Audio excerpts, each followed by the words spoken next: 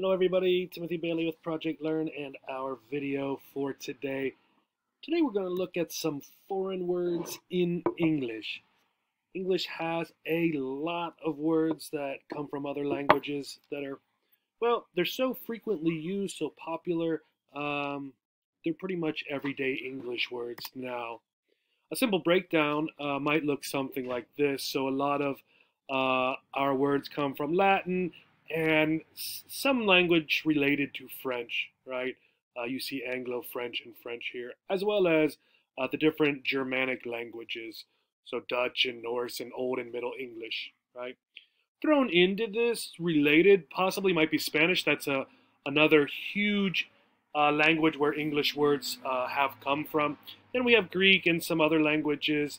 And then actually uh, a lot of words that come from people's names uh, things like Miller and Smith. Uh, and we might look at those another day. So we're going to start, we're going to look at uh, some of these today. And this chart here, this comes from this website down here at the bottom.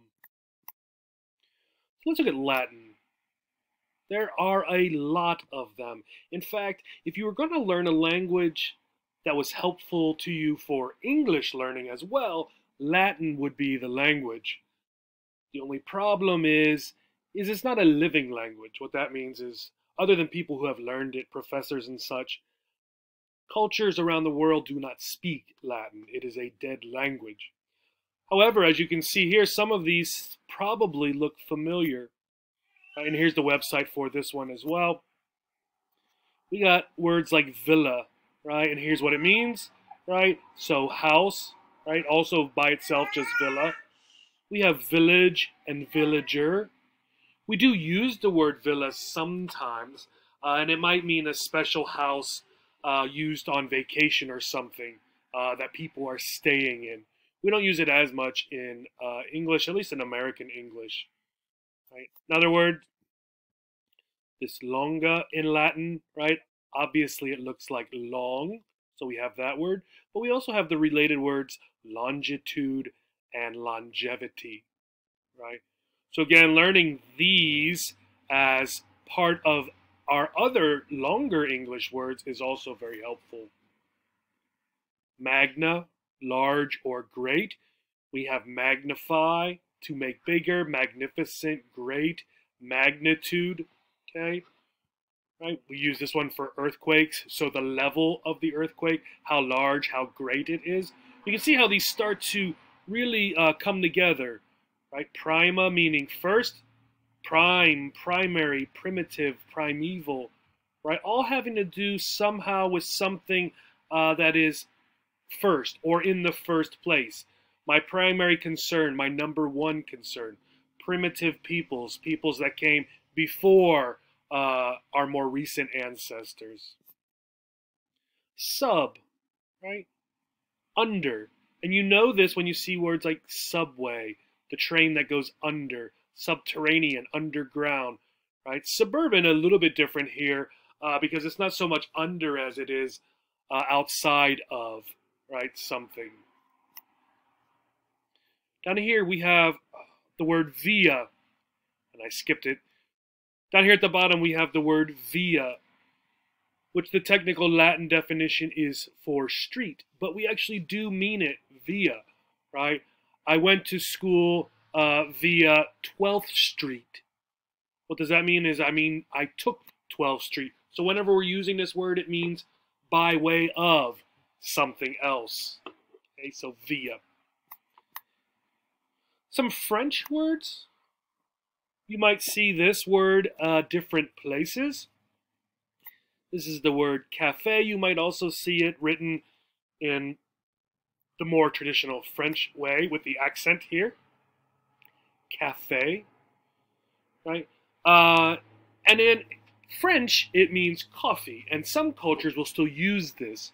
Other cultures, right, when they incorporate uh, foreign words, will refer to coffee as cafe.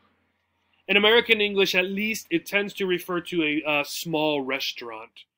Okay, uh, where you can get perhaps simple foods, not very complex foods, not a very large restaurant. Another French word is this wonderful uh, pastry, baked good. In English, we would refer to this as a croissant. In French, it would be something uh, more like croissant, right? So the change in how it is pronounced. And the number one difference, really, uh, there's two big differences for foreign words coming into English. One, the pronunciation often changes. We'll see some examples of that. Uh, and the spelling will at times change as well. Another French word. This is a Chinese buffet, right? In this time in American English, right? A buffet, right? Uh, British English would pronounce it a buffet, right? So the restaurant you go to where you can get all the food you want, you pay one price, and you get food, you eat it, then you can go back and get more, right, of this food. So a buffet, right? I don't know in American English, uh, but certainly other pronunciation you might hear buffet, right? Uh, I, I, don't recall hearing that uh, in any of my sort of around Ohio English, uh, so it tends to always be buffet here. Some Spanish words, right? Here is a section of town, a town square perhaps. Looks like they're having uh, maybe vendors selling things, people selling food, uh, maybe some music here. Uh, so a lot of stuff going on. Well, this is called a plaza, right? Plaza, typically in American English with the ah sound, right? And plaza, right, sometimes just means square, right? We often call it a town square, for example, right? Many towns historically have had a square in the downtown where all the events took place. We also have shopping plazas or business plazas, right? So you might see this word a lot uh, to refer to just one sort of organized area. Now, Spanish has a lot of words. I just have some animals and some arts and culture. Here's our plaza down here. We also have fiesta, meaning party, bodega. Bodega can also refer to a small store, right? Then different animals here, right? Alligator comes from these two Spanish words meaning the lizard. And you can see, right, different Spanish words and where they come from. There's the website if you want to check that out some more. Excuse me. Some German words. This is a famous delicatessen in New York City, Katz's Delicatessen. Right, I don't know if you can see it here, uh, but it says Frank-N-Furter's here, right? It looks sort of like a diner, a small restaurant, which is what it is, right? You might also see it abbreviated as a deli. And what might you find there? Well, in large cities, certainly like New York, you might find something like this, a Reuben, a special kind of sandwich. You might also be able to buy the meat and cheese and things in this deli. So delis could be both a restaurant and a kind of store. A kind of store where you might find um, sort of fancier meats and cheeses and things like olives. Now, also, the deli is a section in a regular just grocery store uh, where you might buy meats and things like that as well. Here you see a group of kids, right? These kids are in a special class after preschool, before first grade, we call kindergarten. And the two German words here, kinder means children, and garten means garden. So kindergarten means children's garden, right? The only difference here when we are saying it in English is the T, right, uh, gets a D sound, kindergarten, right? So this might cause you to have trouble figuring out how to spell the word. From Dutch, right? Here we have some chocolate chip cookies, right? In Dutch, the word uh, comes from, the word that cookies comes from means uh, small or little cakes, right? Which is really what cookies are. Yiddish. Yiddish is a, a language spoken by uh, Eastern European uh, Jews. And we have a word here, glitch, right? Glitch. You can see the TV mostly works except this small glitch here. So you could watch a TV show, you could watch a movie. It's just this small section is interfered with. So a glitch is um, a small problem that doesn't prevent you from doing something, right? You could watch a TV show, you could watch a movie, even though this here is sort of a problem. Japanese, right? So we don't get a lot of words, not as much as French or uh, German or Spanish uh, from our Asian languages, but we do get some Japanese. If you go to a bar and you are singing up front here and people are listening, this is called karaoke. Karaoke.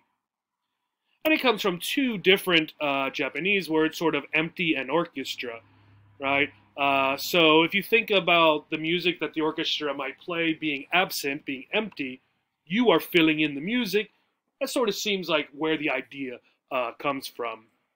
The only difference here is that typically in the United States, we are singing in a place that is public, whereas some Asian countries, you are singing in a private room uh, and you know the people, their family or friends, right?